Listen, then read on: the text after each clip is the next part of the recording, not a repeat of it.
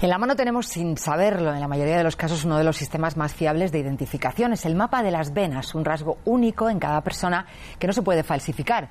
Sus usos son innumerables, por ejemplo, en la justicia, en los comercios y también en los bancos.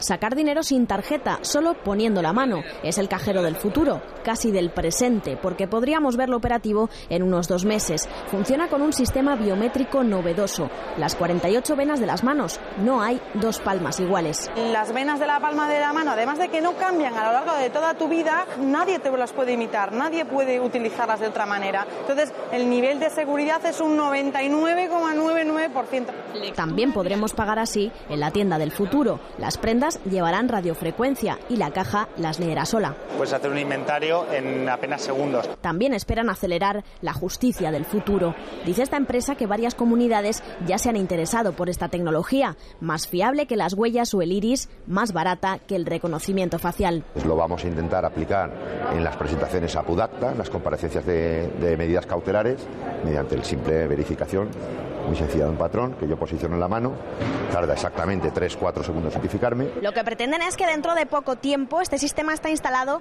en todo nuestro entorno y que mano sea algo así como una llave que, llave que abre todas las puertas. Por eso aquí lo llaman ya el gesto del futuro.